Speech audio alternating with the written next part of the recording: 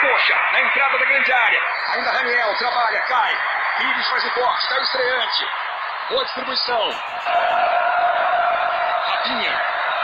Habilitado de devolução, a bola do Flamengo de novo. Maior público do Flamengo como mandante pela vitória sobre o Internacional. Foram 55.283 torcedores aqui no Maracanã. 14 minutos, primeiro tempo. Pires. Futebol na Globo, aqui. Puxa pro meio. Pires virando para Rodinei. Consegue o cruzamento, Léo, Rapinha. A torcida do Flamengo começa empurrando o time. Passe errado no Pires. Erra o passe. O Pires da Mota. Ezequiel para frente. Devolução para o Flamengo do Pires. Everton Ribeiro.